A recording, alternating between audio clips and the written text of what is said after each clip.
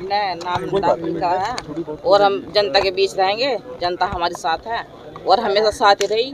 हमने तो भारतीय जनता पार्टी में शुरू से ही हम साथ है और साथ ही रहेंगे। पहले भी आपने कोई चुनाव लड़ा है? हाँ जी मेरे पति ने विधायक जी चुनाव दो बार लड़ चुके हैं। आपने? मैं गाँव की प्रधान रही। तो आपको क्या लगता है कि जो जो चुनाव होगा इस समय पहले प्रधानी आप लड़ चुके हैं इस बार विधायकी का चुनाव होगा तो कितना कड़ा मुकाबला सामने प्रतिद्वंदी के साथ मानते हैं आप? कड़ा से कड़ा मुकाबला सामना होगा। भारतीय जनता पार्टी की उम्मीदवार के तौर पर रतौली विधानसभा से आज उन्होंने नामांकन किया है। हम चूँकि सीट माननीय विक्रम सैनी जी विधायक के जो उन्हें सजा हुई थी उस वजह से रिक्त हुई थी तो आज नामांकन किया है। हम क्षेत्र की जनता के बीच में दोबारा जाएँगे।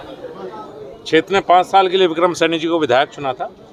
दुर्भाग्यपूर्ण है चूँकि कोर्ट का फैसला है उस पर कोई प्रश्न नहीं लगा सकता। तो उनके बचे हुए कार्यकाल के लिए जनता के बीच में जाकर राजकुमार सैनी जी के लिए हम जनता के बीच में जाएँगे। और मुझे उम्मीद है कि खतौली विधानसभा ने हमेशा भारतीय जनता पार्टी का साथ दिया है चाहे 2014 हो 17 हो 19 हो 22 हो इस बार भी भारी बहुमत से जनता के आशीर्वाद से राजकुमार सैनी जी विधायक बनेंगे। कितना कड़ा मुकाबला हैं? बाहुबली बार बार नाम सामने आ रहा है। पहली बात तो एक है मुकाबला तो हर चुनाव में होता है। कि कहना कि मुकाबला नहीं है, वो तो ठीक बात नहीं है।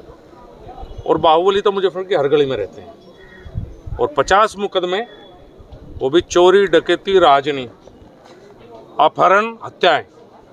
अगर इसको बाहुबल कहेंगे तो वो दिन जल लद चुके हैं। अब ये विपक्ष की बात है कि विपक्ष हमेशा ऐसे ही प्रत्याशी क्यों लेकर आता है?